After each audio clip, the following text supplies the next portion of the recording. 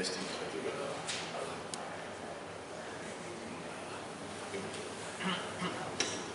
Testing satu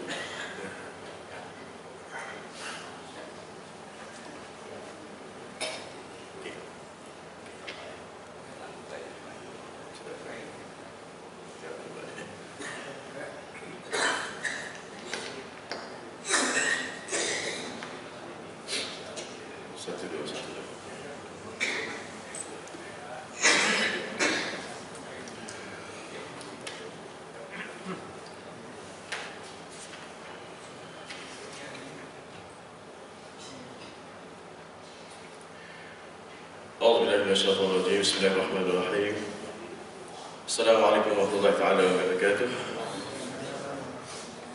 رب صلي الصادق ويسر لي أمن واحد وقت من لساني يفقهوا قولي أما بعد الحمد لله شكرا السلام عليكم كتاب الله سبحانه وتعالى كان pagi ini kita masih dipilih dan diletakkan untuk berada di rumah Allah. Mudah-mudahan amalan kita pada pagi ini diterima oleh Allah. Dan sebagai bukti saksi kepada Allah Taala atas usaha kita untuk mendekatkan diri kita kepada Allah Subhanahu Wa Taala. Jadi uh, saya terlewat sikit saya di subuh uh, tak sedar. Lewat. Baru-baru dah sedar azan. Dah azan subuh dekat taman taman saya. Uh, malam tadi saya ada pergi satu majlis uh, kuliah ilmu perdana. Uh, kuliah perdana menarik juga tajuk eh, sebelum kita masuk tajuk kita pagi ini. Berkaitan dengan uh, berkaitan dengan uh, kiamat. Ya, fasa kiamat akhir zaman di manakah kita sekarang ni? Kita ni berada di fasa yang berapa eh? semua terdiam ni maaf semalam maksud saya lah. Sebab uh, perkara yang diceritakan uh, semalam itu adalah berkaitan dengan apa yang kita sedang nampak sedang lihat berlaku di sekeliling kita yang saya tertarik satu yang dibawa satu hadis Nabi sallallahu alaihi wasallam yang menceritakan bahawa akhir zaman ni manusia dengan fitnah ni dia tak rasa apa-apa. Sedangkan uh, beliau bawa satu kisah ya, sebab kita ni ada lima fasa yang sebelum berlakunya kiamat yang sebenar. Fasa pertama itu fasa zaman Rasulullah SAW dah habis. Zaman kedua adalah zaman sahabat atau disebut sebagai khalifah Rashidin dah berlalu. Dan zaman ketika itu zaman uh, uh, bermula daripada zaman Bani Umayyah di Abbasiyah sehingga kejatuhan kerajaan Osman ya. Dan fasa keempat adalah zaman disebut zaman mulukan ya. Al-Jabbar ini zaman pemerintahan atau kerajaan yang zalim ya. Dan, dan zaman berlakunya banyak perkara ya. dan juga banyak berlakunya fitnah. Dan zaman fasa yang terakhir adalah fasa kedatangan Imam Mahdi.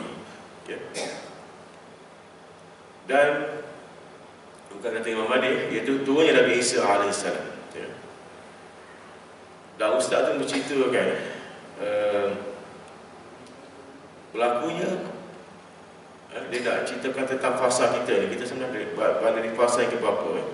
So banyak hadis dia yang dikupas semalam lah, termasuk saya sebutkan hadis tadi yang tentang bila berlaku fitnah ni kita tak kita tak ambil tahu. Kita tak rasa macam benda tu fitnah ni bukan fitnah ni, fitnah ni masuk ujian. Dan disokong dengan banyak hadis lain yang ceritakan tentang uh, apa ni? Uh, kiamat-kiamat eh. Uh, Abaratul kiamat. Berkaitan dengan uh, kiamat kecil dan kiamat besar eh. Kiamat kecil boleh dikatakan satu kuartus dah habis dah. Maksudnya dah berlaku dah. Eh, di sekeliling kita dah berlaku dah. Eh, contohnya uh, ibu melahirkan anak, uh, anak-anak majikan. Ya. Di mana anak sekarang zaman sekarang ni kalau ibu apa ni dia lebih apa ni meletakkan ibu kita ni ataupun ibulah ni di apa ni sebagai hamba. Eh, tak dengan cakap ya, awak cakap anak dah ada banyak ni yang tentang sepak itu ajar mak tu dah banyak yang kita dengar ya. Dan berlakunya banyak petir. Ya, petir sambung menyambung dan kerap berlaku. Semua itu dah berlaku. Eh, baru ni kita dikejutkan dengan apa dekat minggu lepas ya, dua minggu lepas kan, dekat Puchong kan. Dan juga di Selangor lah. kan uh, dia punya dia dengar lebih kurang dalam berapa second? Satu jam. Enam, uh, satu minit punya bukan satu jam satu minit lebih kurang dalam 60 second. Dia punya peti itu panjang ya. Dan uh, apa ni uh, masyarakat tinggal kat Selangor tu dia dengar seolah macam ada di tepi rel kereta api. Dia punya panjang bunyi tu. Amat menakutkan.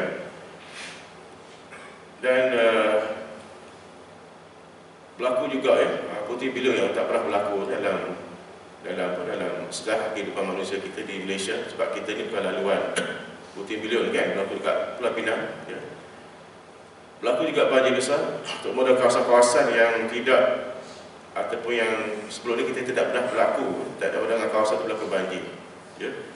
dan kalau Ustaz ni berceritakan juga bahawa dia pergi mana-mana kuliah ceramah dia pernah sampaikan ke Turki, pernah sampaikan ke Saudi, Yaman dan sebagainya daripada belajar kat sana.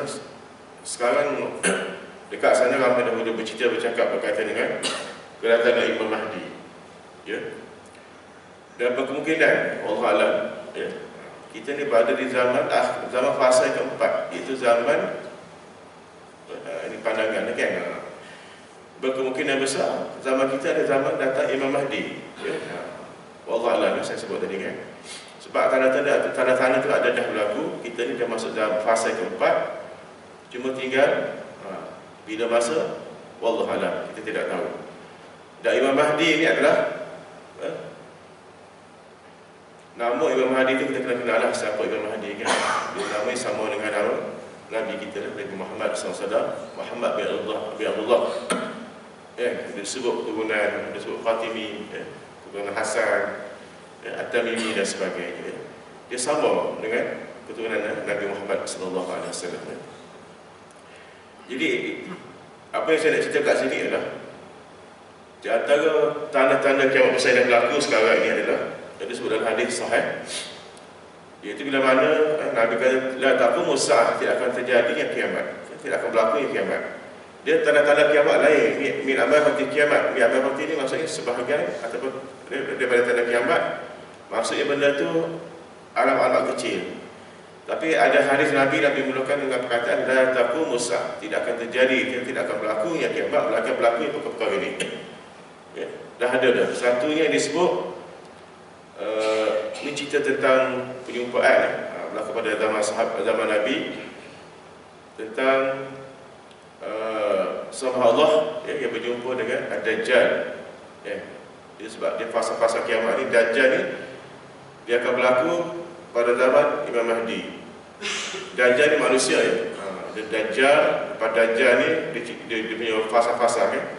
Uh, lepas tu datang Dajjal, datang Imam Mahdi, turun Nabi Isa AS ya, dan datanya Ya'juj Majus ya. Dan lepas Ya'juj Majus, ketika itu ramai dah ketika orang Islam dah meninggal ketika itu tinggal bukan orang Islam saja turunnya satu haiwan disebut sebagai haiwan besar Dabbatul Ab betul ahli itu bukan kata dinosaur dan sebagainya tapi binatang besar iaitu datang ke bumi ini ketika itu orang Islam dah tidak ada tinggal lagi orang Islam. Dan dia disebut uh, ketika itu berlakunya dia tak panggil orang Islam orang Islam dia panggil dengan satu gelaran lain. Orang putih orang orang yang bahagian putih bahagian hitam. Uh, sebab yang putih ni yang beriman saja. Hitam ni yang tidak beriman kepada Allah Subhanahu Wa Taala. Ya? Dan sebab itu baru berlaku kiamat besar. Betul-betul kiamat lah. So, sekarang kita di kuasa keempat. Ya. Antara kiamat besar, tanda kiamat besar ialah bila mana di kawasan Arab Saudi itu disebut di kawasan Padang Pasir, di satu tempat nama Beksan, ya. Uh, dia atas sikit pada uh, Madinah. Kawasan itu kawasan kering. Ya. Tetapi akan berlaku kesuburan dekat sana. Ya. Tumbuh itu tumbuhan yang subur, yang menghijau. Ya dan berlaku juga di Arab Saudi itu di, di kawasan sana. Uh, apa ni? Banjir. Dan turunnya hujan dan turunnya salji dah berlaku dah berlaku kan? Nabi dah sampai hari Nabi. Ya, tidak akan berlaku kiamat juga. Sehinggalah uh, apa ni? Uh, turunnya salji dah berlaku di Arab Saudi. Ya. kawasan yang jarang kita dengar kawasan panas pada pasir yang tak sewajar yang berlaku begitu tapi terjadi ya dah terjadi ya itu di antara selain pada itu di Sungai Teblis kan di antara Jordan dengan Israel itu berlaku kekeringan air yang sekarang dah berlaku dah. Eh, tasik yang digunakan untuk minuman eh, uh, Israel kat sana tu dah semakin kering. Eh.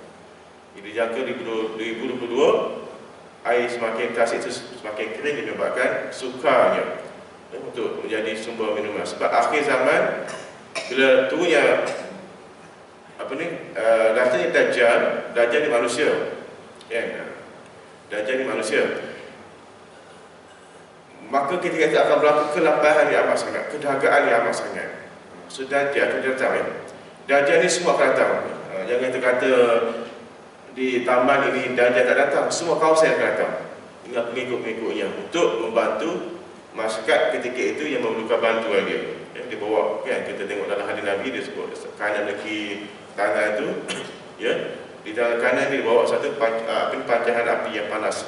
Eh dekat sini sejuk air pancaran air. Supaya kalau kita tengah lapar tengah dahaga bila ada orang datang nak bawa kita air so yang mana kita akan pilih? Ya sebab di akhir zaman itu kita berlaku dajjal yang menjadi filter kita adalah iman iman yang ke depan eh? So iman akan tengok kat depan Kalau belajar kat depan Kepada orang beriman Dia akan tengok Yang pancuran api tu yang Nabi kata Itulah sebenarnya Syurga untuk kita Tapi masa tu kita dahaga sangat lapar sangat kan. Kalau sempat dengan zaman kita ketika itu ya, Adakah kita akan milih yang api tu ke, pilih pancuran air. Kita kata sekarang tak apa Ustaz kita pilih yang air. Sekarang kan Tapi uh, pilih api tapi sekarang, tapi masa tu adakah kita akan berlaku sebegitu ya? Jadi iman iman yang dapat uh, memastikan kita untuk pilih yang sebenarnya bila kita pilih yang pancangan pancangan apa, apa, apa ni uh, apa ni uh, apa ni air api tadi tu itulah sebenarnya juga sebenarnya untuk kita bangun beriman. Eh, macam itulah. Dan uh, apa ni banyak cerita tentang Dajjal kan orang kata Dajjal di mata satu dan sebenarnya Dajjal ni bukan mata satu dia mata dua. So mata sebelah kanan tu dia rosak. Ha, dia kata dia bengkak macam biji anggur ada keluar kat depan ni. Dan di dahi tu dia tulis kata kafar kata kafir kafar semua orang boleh baca. Cuma saat itu ada orang beriman sahaja yang benar-benar uh, akan meninggalkan Nabi kata kalau dah dapat tahu Dajjal nak datang ke tempat kamu Nabi kata pergilah atau pindahlah atau berlari ke tempat lain. Sebab bila Dajjal datang ke tempat kita kan dia akan penuhi segala permintaan kita ya. Dan andai kata kita melawan kita tak nak mendengar sebab keimanan kita yang kuat sebab saja Dajjal keluar daripada kawasan tersebut kawasan yang dilalui tadi akan menjadi hancur binasa, binasa. buah-buahan tak tumbuh subur rumah dan sebagainya berlaku kematian penyakit dan sebagainya. Selepas dia keluar dari kawasan tersebut. Kecuali orang yang jadi pengikut beliau. Ha, eh, ya, ya, Nabi kata kalau ada eh, Dajjal datang kita tahu eh, sifat-sifat dia sekiri dia kita lagi lah kita keluar lah. sebab satu lagi Nabi kata kalau dapat pergi ni Allah Alam ya, tempat yang Dajjal ini sebenarnya hadis ni. Uh, Dajjal tidak akan masuk dua tempat saja ya, Masjid Nabawi dengan Masjidil Haram ya, selain pada itu dia akan pergi ya. Allah alam ya. So hati-hatilah. Jadi itulah antara yang nak sebutkan di sini ialah uh, di antara kiamat uh, yang terakhir banyak lagi antara yang terakhir juga saya sebutkan sini ialah bila malam uh, apa ni terlalu panjang. Uh, macam contohlah sekarang ni kita subuh kan pukul 6 tadi kan 6.45 6.20 subuh solat salat subuh kita pun nak balik balik ke rumah ya sebab nak nak bersahabat nak breakfast dengan isteri kita dengan anak-anak kita. Tapi bila balik ke rumah tu masih gelap lagi. Eh, masih gelap lagi. Dan kita pun patah balik ke surau eh, masih gelap lagi ya? Kita ingat subuh tu masih panjang. Dia disebutkan seolah macam satu per tiga malam ya? Dia punya panjang tu subuh ni sampai seolah macam Waktu malam sepertiga malam tu dia berpanjangkan sampai ke waktu subuh. Sampai kita balik pun gelap lagi. Ha. Kecuali Nabi kata siapa orang yang tahu bahawa itulah tanda-tanda kiamat iaitu bila matahari keluar daripada sebelah barat. Ya. Jadi Yang tahu ketika itu berlaku kiamat adalah mereka yang selalu bangun malam, yang kiamulai. Sebab orang kiamulai dia kata, eh, kenapa tak siang-siang tu? Dia kiamulai, orang biasa solat, solat, solat tahajud, kan? Dia bangun malam. Yang itu saja dia, dia tahu. Ya? Jadi, diceritakan di sini Nabi kata kita kena bergaul dengan ahli ulama, ya, dengan ustaz-ustaz ataupun orang yang yang yang, yang, apa, yang memahami lebih mendalam tentang Al-Quran hadis sebab mereka ni akan memberitahu kepada kita Ya, macam contohlah kalau saya bergaul dengan A, kita pesan dekat dia. Ya, kalau ini dah tanda-tanda pada uh, kamu tahu ini dah tanda-tandanya, maklumkan kepada saya. Sebab sebab apa ya? Sebab sebelum uh, apa ni hilangnya, eh, sebelum terbitnya matahari ya, yang seterusnya matahari ke sebelah barat itu, sebab malam itu panjang, kita ada masa lagi untuk bertaubat, untuk beristighfar. Sebab bila dah matahari terbit daripada barat, amalan kita tidak diterima lagi oleh Allah SWT. Dan ketika itu kalau kita baru nak beriman kepada Allah Ta'ala Iman kita tidak lagi diterima oleh Allah Taala. Dan kalau saat kita bertobat kepada Allah Taala, Taubat tidak lagi diterima oleh Allah Taala.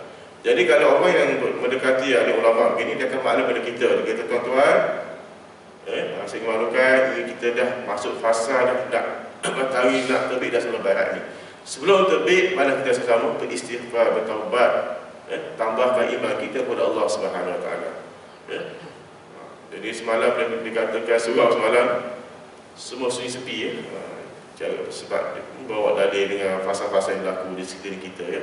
Sebab yang paling dahsyat lagi adalah bila Allah SWT angkat ilmu-ilmu agama. Amal dah, eh? angkat ilmu agama dengan Allah SWT mematikan ramai ahli ulama. Ya, kalau kita tengok di Indonesia, di luar negara pun ramai dah pakar-pakar hadis, pakar-pakar fiqh, pakar-pakar berkaitan dengan tauhid, akidah dan sebagainya, ramai yang Allah SWT telah matikan Maksud bila mereka ni mati, automatik kita dah hilang sumber otoriti yang sebenar. So yang tinggal adalah orang jahil-jahil. Kita nak tanya bab bahan, bab mandi saja, bab mandi wajib. Eh, nak tanya tentang ustaz. Ustaz yang ada ketika itu ustaz yang bukan expert atau ekspertis dalam bidang. Eh, sebab ini adalah akhir zaman. Allah SWT akan mengangkat ilmu Allah Taala dengan mematikan ramai ahli ulama.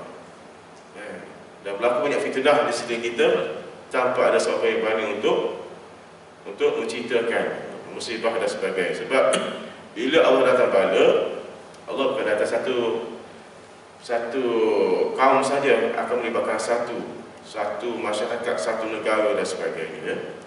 Semana yang berlaku pada kisah uh, apa ni zaman Nabi ya, satu rombolan dia nak ya, satu satu rombongan dia nak pergi ke Mekah dengan niat untuk runtuhkan Kaabah. Allah tahulah. Dan Allah tu akan bala kepada orang yang datang dua tiga orang saja dalam dalam kumpulan itu untuk menentukan Kaabah tapi apa yang berlaku ialah semua yang ada dalam kumpulan tersebut semua dimatikan oleh Allah Subhanahu Taala. Sebab bila bala turun uh, ini yang kesan ya, akhir nanti adalah kita semua akan terbalik sama ya. Uh, jadi itulah uh, saat masa yang ada pada kita yang Allah berikan kepada kita ini Allah masih izinkan kita berada lama di atas sebuah bumi ini sebenarnya bukan apa untuk kita menambahkan bekalan kita untuk kita mengukuhkan lagi memantapkan keimanan kita kepada Allah SWT membetulkan banyak ya, amalan-amalan kita.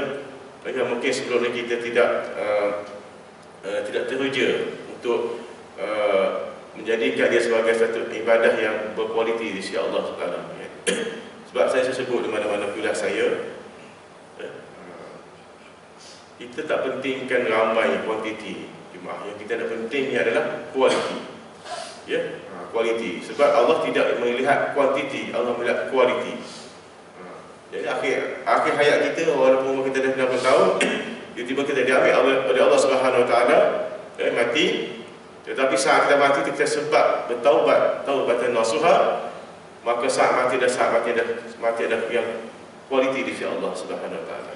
Dalam kita hidup ni bacaan solat bacaan dalam solat tak betul kaedah sembahyang mengangkat tangan ataupun takbir untuk ihram dan sebagainya tidak betul dan sebagainya. Tapi itu adalah usaha kita yang Allah anggap yang Allah nilai ia sebagai suatu usaha yang kualiti di sisi Allah itu lebih baik ya itu saya katakan belajar ni janganlah sampai kita terhenti ya. ilmu ni kita tutup sampailah ke alam kubur ya dalam kubur pun kita diajar lagi tentang ilmu eh, baca talqin dia ajar eh, bila datang dua makhluk eh, ha, Janganlah takut kerana mereka ini juga adalah makhluk Allah SWT. Ya, dan bila dia tanya, jawablah dengan tenang. Siapa Tuhan kamu? Apa kiblat kamu? Siapa imam kamu? Siapakah uh, insan atau manusia yang diutus untuk bawa syiar agama Islam di atas muka bumi ini? Ya, siapakah saudara kamu? Jawablah dengan tenang. So kita jawab. Ha, saya sebut kan, ya, yang jawab itu bukan ilmu. Yang jawab itu adalah amalan. Amalan yang jawab. Kita duduk dalam kubur ni, ya, masuk dalam kubur, malaikat akan dudukkan kita, disandarkan kita ke dekat tanah dalam kubur tu. Ha, begitulah, tapi kita tak kena baikkan macam mana. Ha, seolah macam tengah malam, eh, isi kita, pijukkan kita, dia sandarkan suami kita kat dinding. Oh, itulah kat dekati kan. Ha, boleh bayangkan eh. Dalam kubur, sebab kita, uh, apa ni, tiga langkah, orang yang menghantar itu telah bergerak, maka datanglah dua malaikat. Terus datang, ya, tanpa tanpa tunggu-tunggu, tak tangguh. Masuk saja malaikat akan datang. Ha. Kita boleh dengar. Ya, ha, ini ada pada ulama ni ha, mengatakan bahawa Allah bagi kelebihan ketika kita boleh mendengar derapan kaki yang melangkah pulang ke rumah setelah menghantar kita ke kubur. Habis saja terus malaikat datang. Ya, datang dan uh, apa ni dimasukkan balik roh kita ke dalam jasad mereka akan bangunkan kita disandarkan ke dinding tanah dalam kubur itu yang tujuh kaki tinggi okay? dan ketika itulah dia akan tanya kita ketika itulah yang Nabi kata janganlah kita takut kerana mereka ini makhluk Allah SWT juga. Jawablah dengan tenang. So yang jawab itu saya katakan tadi amalan. Amalan sedekah kita. Saya nak bagi tahu kat sini yang paling banyak-banyak amalan yang terbaik yang Nabi kata adalah sedekah. Sedekah yang menyelamatkan kita dalam kubur sedekah yang akan meletakkan kita dalam syurga Allah SWT sedekah. Ya? apa saja sedekah. Masjid, surau, anak yatim dan sebagainya kan? Lebih-lebih lagi kalau kita kalau kita menggunakan sedekah eh, sedekah jariyah itu sebagai wakaf. Sebab orang mati ni kalau dia tahu tentang kelebihan sedekah dia dia minta dia yang hadis panjang disebut ya. dia, dia akan minta kepada Allah taala ya Allah kembalilah aku hidup di atas muka bumi untuk aku banyakkan sedekah. Tapi dah tak ada apalah kita dah masuk di kubur kan. Jadi ada yang ada sekarang walaupun tak banyak sedikit sebanyak kan untuk surau ya, untuk masjid dan sebagainya ya, untuk anak-anak anak-anak kita apa ni anak-anak saudara kita yang susah miskin dan sebagainya kan? Insyaallah ya tuan sedekah air untuk kat surau eh. Orang tak tahu kan? Ha, saya nak sedekah air ni walaupun sebesar ini satu kotak untuk kelas subuh untuk penceramah. Ha, bagi tak kat JKK masjid khusus untuk penceramah. Bayangkan ustaz ada minum air eh, dah ustaz tu hilang dahaga tak boleh menyampaikan pula dan pergi mana-mana selagi ustaz tu tak mati ilmu tu tersebar dan ilmu buat diamalkan oleh jemaah berapa, berapa, berapa surah dah ustaz tu dah pergi. Dan berapa jemaah dah, dah, dah pergi dan jemaah tu pula mengamalkan apa yang ustaz tu sampaikan pahala dia berterusan. Eh, dia panggil salah satu jariah. Sedekah yang mengalir. Ha, yang mengalir ni walaupun kita mati tetap mengalir. Dia tak putus Iza mata ibn Adam ibn amal ila min salah. Setelah mati anak Adam terputus amalan. Kau cari tiga. Kita tak kita tak ada amalan kita terputus bila mati, terputus terus pahala kita tak ada. Kita nak mati pahala berterusan. Kita sebut sedekah jariah. Letak kopiah, letak jaga. Ya, yeah, kalau ada elektrik, yeah, sekali kita ada kelebihan uh, rezeki Allah SWT bagi, kalau bulan ni saya nak bayar lah. Kebetulan pula bulan lepas tu ramai pula dijemput ustaz-ustaz untuk berceramah. Awak macam ni program-program kerohanian dekat surau ini. ya. Ada baca khutbah, ada baca Quran, bulan puasa pula, bulan lepas contoh kan. Kita bayar api untuk bulan tu ya. So, itulah sedekah kita, mengalir pahala kita, masya-Allah tuan. Hmm, bayar utility, api, air dan sebagainya ya. Tak salah ya. Kita rasa sekali bantu pihak jatuh kuasa surau dan masjid. Ya. Sebab kita nak, jadi saya katakan hidup kita ni kita kena target ada satu pahala yang mengalir untuk kita. Satu, paling kurang. Eh, dia ada tiga. Sedekah jahiyah, ada yang soleh, ilmu manfaat. Ha, macam semalam saya kuliah saya dekat taman tu, uh, uh, apa Islam. Uh, saya mengajar satu kuliah untuk, untuk sebulan sekali berkaitan dengan Perubatan Islam. So, semalam saya menceritakan tentang uh, bacaan-bacaan khusus untuk penyakit barah.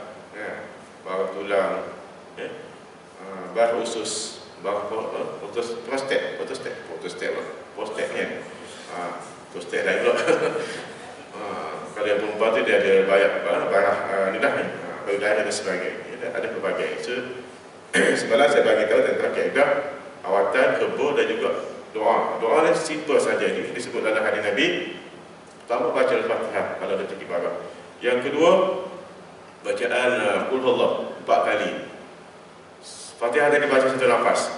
Uh, satu nafas. Alhamdulillah Alhamdulillah sampai habis kan Qul empat kali satu nafas. Dan baca surah surah apa ni? Surah Al-Qalam. Ada tiga ayat saja satu hingga tiga ayat. Ayat pertama ayat tiga. Nun wal qalim ma yasbiq dan ayat ada tiga. Baca pada bengkak ini tanda-tanda antara simptom-simptom yang adalah ia berlaku pendarahan sakit yang amat sangat kadang-kadang yang biasa berlaku juga uh, dia bengkak eh. sepada bengkak tu baca ayat tadi saya baca dan satu lagi doanya ialah yang doa yang untuk mengecilkan yang besar membesarkan yang kecil Allah maymus Allah maymus sagih al kabir wa yabqati has sagih sagih bi Allah wahai Allah yang membesarkan yang kecil yang mengecilkan yang besar, kecilkan. Ha, kalau ada bekak. Tengah turun surah ni, kita jatuh longkang. Kan? Bekak. Sebaca doa tadi. InsyaAllah eh, Allah akan uh, bagi eh, bagikan kesembuhan untuk kita. Eh, di samping herba, saya, semalam saya herba yang saya tahu tentang penggunaan rumput sambal. ya, rumput sambal. Uh, apa ni dengan uh, dengan apa ni Allah Allah SWT Muhammad eh, uh, dengan air ya kita apa ni kita gunakan untuk sambal untuk, untuk apa ni untuk uh, untuk apa ni, untuk sapu tempat yang yang apa ni yang terkena bahaya harga mana eh. Ubatan moden kita guna juga eh. tapi pada masa sama kita gunakan awatan alternatif herba dan sebagainya sebab Allah SWT jadikan uh, apa ni jadikan uh, makhluk yang masuk haiwan dan tumbuhan ada tujuannya satu lagi boleh juga guna buah delima. Ya, ha, ibu kunyit kita blend sekali. Ya, letak dalam mangkuk, mangkuk putih, kita blend kacau dengan rukuk sambal tadi, sapu pada tempat yang yang disyaki berlakunya barang dan sebagainya. okay. Okey, uh, sikit masa lagi saya ambil tentang uh, berkaitan dengan ini. Uh, sebab saya belum sampaikan berkaitan dengan kiamat ni sebab kita sebenarnya berada di pada fasa keempat ni. Fasa yang mana akan tu Imam Mahdi dan kita tak tahu berkemungkinan Allah SWT telah mempersiapkan Imam Mahdi untuk datang ya? sebab banyak sangat ada berlaku dekat, ya? dekat ya? pada zaman ini dan tidak ada kuasa atau tidak ada seorang pun yang berani untuk mencegah fitnah-fitnah yang cukup hebat dan tanda-tanda yang Allah SWT tunjukkan kepada kita sebagai satu amaran, peringatan ya. peringatan, ya? peringatan untuk kita untuk kita bersedia bersiap sebelum kembali kepada Allah Subhanahu Wa Taala ya, kita semua lebih baik kita meninggal dalam keadaan kita menuntut ilmu berbanding dengan kita meninggal dalam keadaan kita nah, bersembang dan kena kopi contohlah ya. Alhamdulillah ya. Okey, uh, yang tajuk berkaitan dengan mengangkat tangan ya, saya bahasa sikit lagi so, uh, mengangkat tangan kita ada sentuh tentang takbir ya. Okey kita nak lihat uh, mengangkat tangan ke Allahu Akbar ni ketika mana adakah kita nak angkat tangan dulu atau takbir dulu. Atau ataupun uh, takbir dulu. Uh, bawa angkat tangan ataupun sentak uh, angkat tangan dan apa ni? Uh, angkat tangan dan takbir tu yang adakah? Jadi tiga cara eh.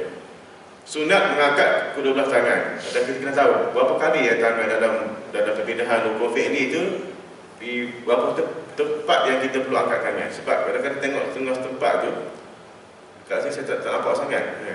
sebab saya duduk kadang saya depan kan fisofil awal. Kalau kat belakang boleh boleh nampak lah. Yang angkat tangan takbir utayaham dalam solat kita perpindahan rukun fi'li tu belakang intiqaliyat tu di, di beberapa tempat. Kita nak ambil sunnah. Yang hak Nabi buat. Sunat mengangkat kedua tangan ketika takbir ihram ya.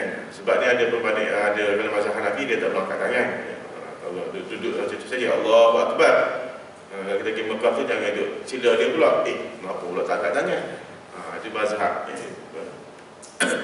Uh, khilaf antara mazhab tak ada masalah. Sebab benda ni sunat saja. Sunat mengangkat kedua belah tangan ketika takbir untuk ihram, jumhur ulama sepakat tentang hukum sunat mengangkat tangan sewaktu melakukan takbir untuk ihram. Jumhur kata sunat angkat tangan.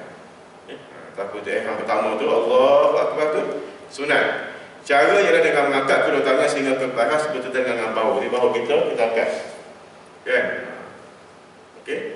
Imam Nawawi menjelaskan kedudukan tangan ketika takbir untuk ihram itu semua hujung jari bersetentangan dengan cupin atas telinga, cupin ni.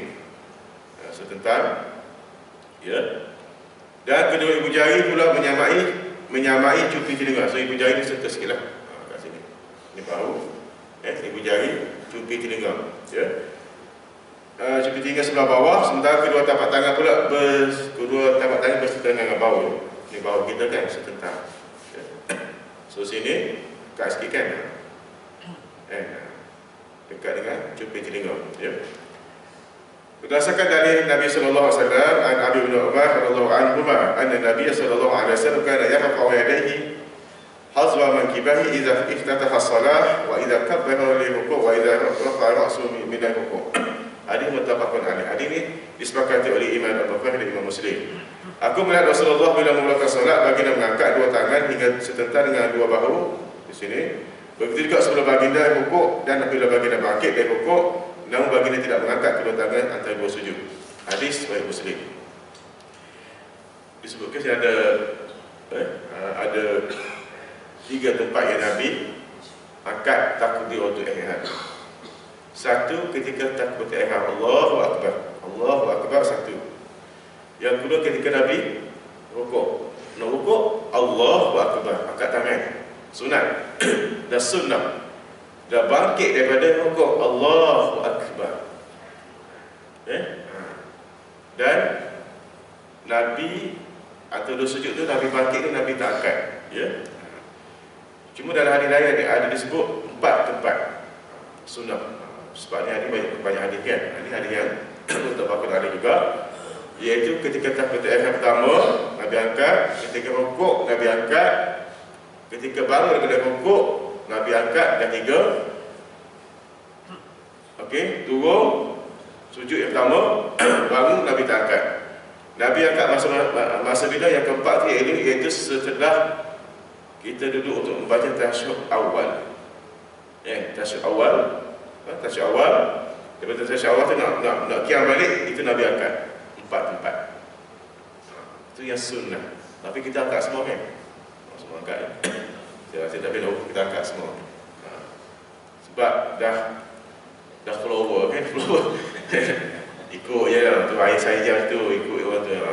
So sekarang kita dah tahu tu. Empat tempat saja yang Nabi angkat. First Ketika takut yang pertama tu Allahu Akbar Yang kedua ketika nak rokok Allahu Akbar Angkat lagi lagi. Bangun pada rokok Angkat lagi Allahu Akbar. Dan Selepas bacaan imam baca tasyuk awal nak bangkit kiam balik Angkat lagi. Empat tempat sahaja Yang sunat dan sunnah. Sebab bila sebut sunat Sunnah ni Itu orang kata Kita kena 2 in 1 Selalu 2 in 1 3 in 1 4 in 1 Sebab Orang lain sebabnya dapat satu pahala.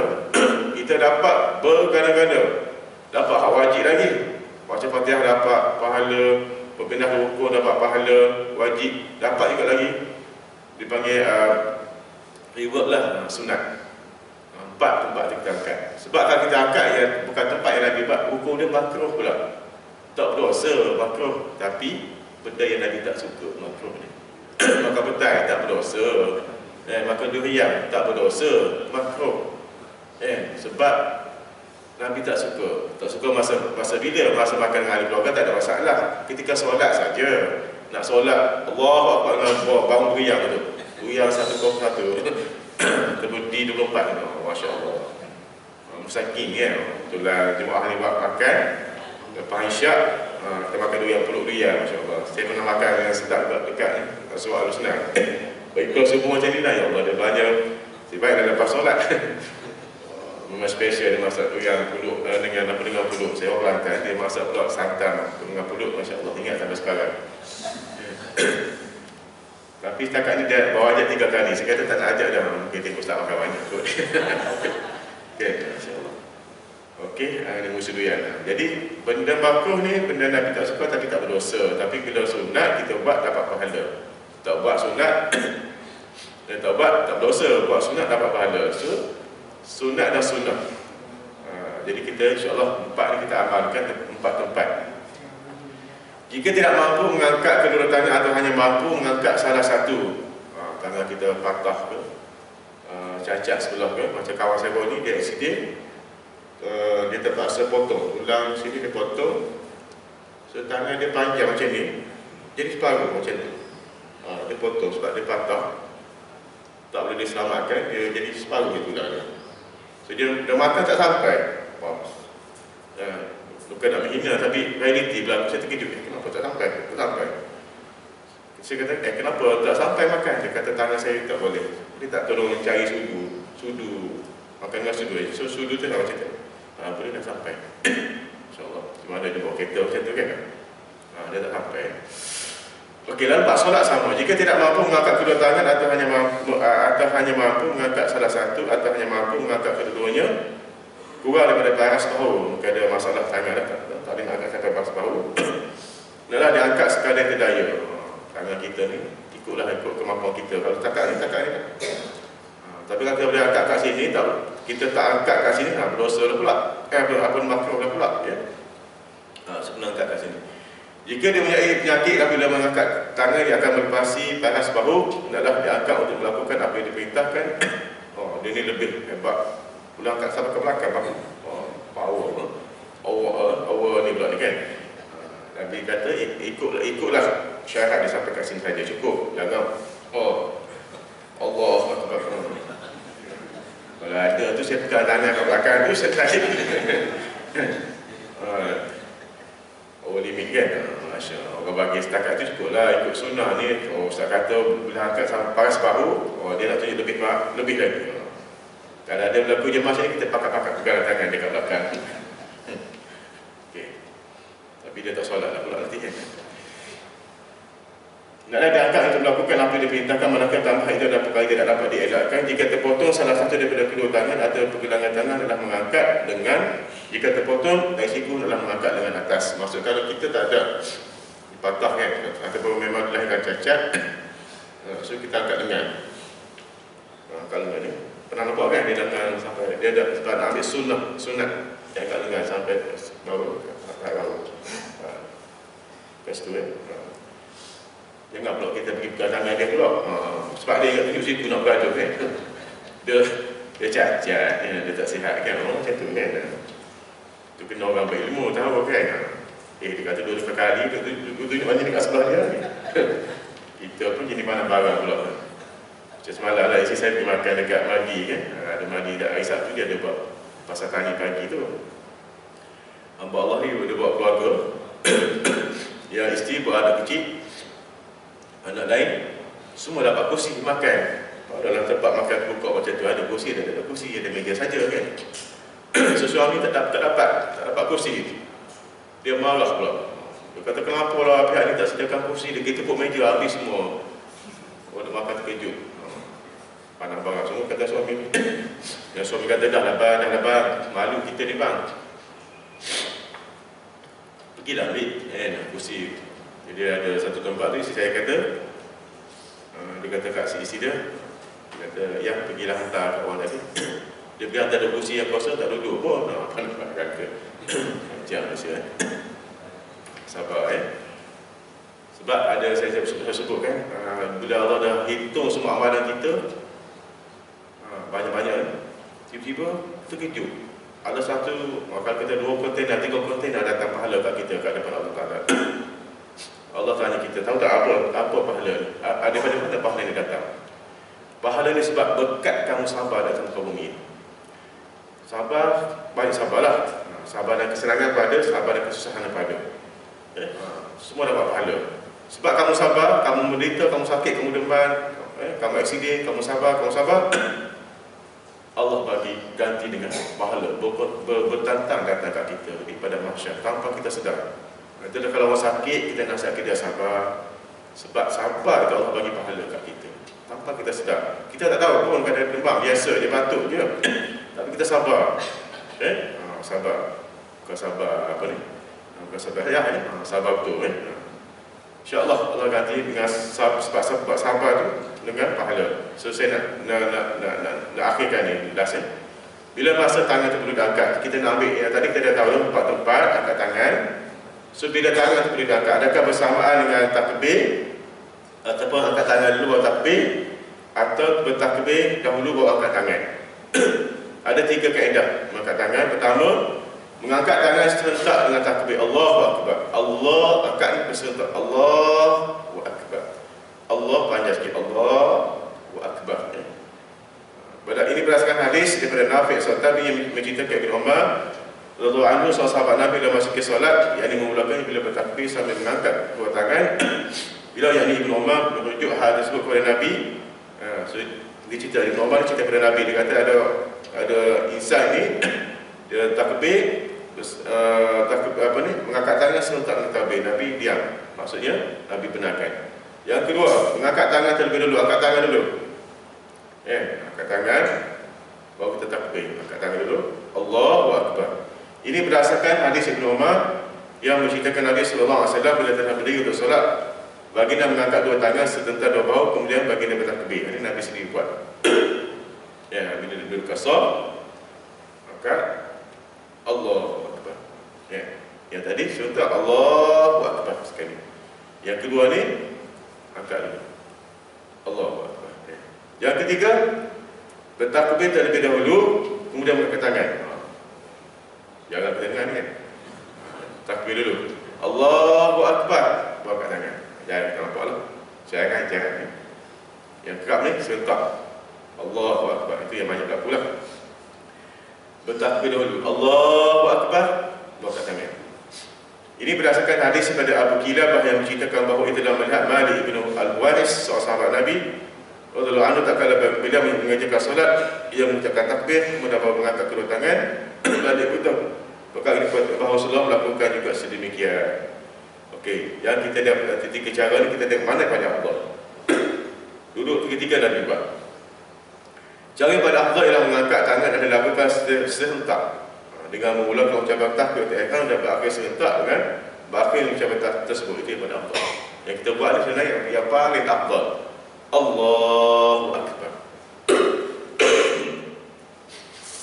Tak siap dapat itu Dan nak letakkan di atas pusat Bila selesai takbir Kedua belah tangan tadi Nak letakkan di atas pusat dan dada Iaitu dengan meletakkan tangan kanan di atas tangan kiri Tangan kanan letak di atas tangan kiri Eh, ulama ni dia dia, dia, dia, dia perincikan lagi pergelangan tangan kanan, pergelangan tangan kiri letak sama ya. Ha, boleh kita nampak kan? tangan pergelangan tangan kanan, pergelangan tangan kiri letak sama dekat situ. Ha, letak macam tu. Ya. Atas dada ya. Uh, di atas pusat dan dada. Pusat kita, dada kita.